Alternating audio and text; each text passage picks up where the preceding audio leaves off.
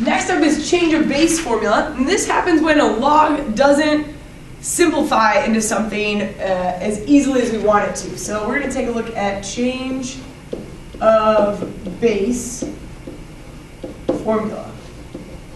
All right, so um, we're going to look at something where let's look at let's look at the example first. So if I think of a problem like go with um, log base let's go seven um, of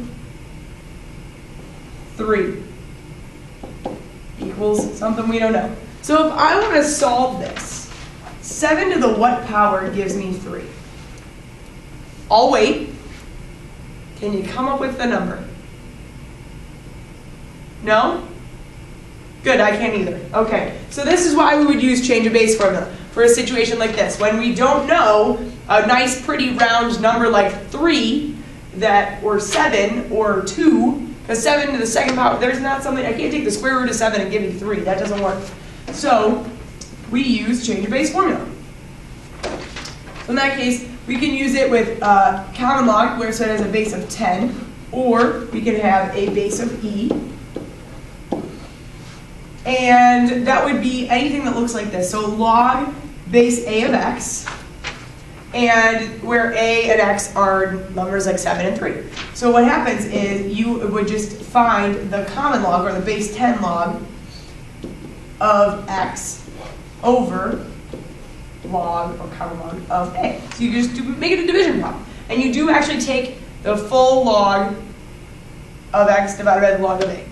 Um, and for this one, we'll take log of a log of x. Works the same way with just natural log. So natural log of x over natural log of a. Solve for both of these, divide them, you're good, and then I'll give you your answer. So this is the formula.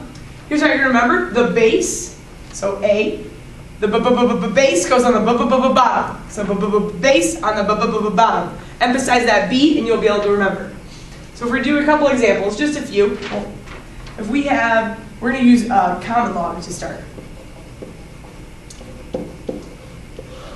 So if I have a log base 3 of 7, and I don't know how to solve this, I'm going to take log of 7 divided by log of 3, because b -b -b base goes on the bottom.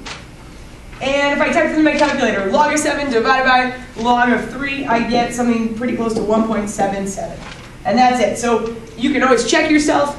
Um, 3 to 1.77 power is about 7. It's not going to be perfect, but it's going to be pretty close. Uh, let's try another one. So log of 1 half of 4. Now, we, we could probably figure this one out, maybe. Um, log of 4 over log of 1 half. Remember, b -b -b base goes on the b -b -b bottom, base on the bottom. And we type this in our calculator, you should get negative 2. Because 1 half raised to the negative 2 power, that would move the 2 up to the numerator and square it, giving us 4. Let's try a couple with, um, with a base of e. So base e.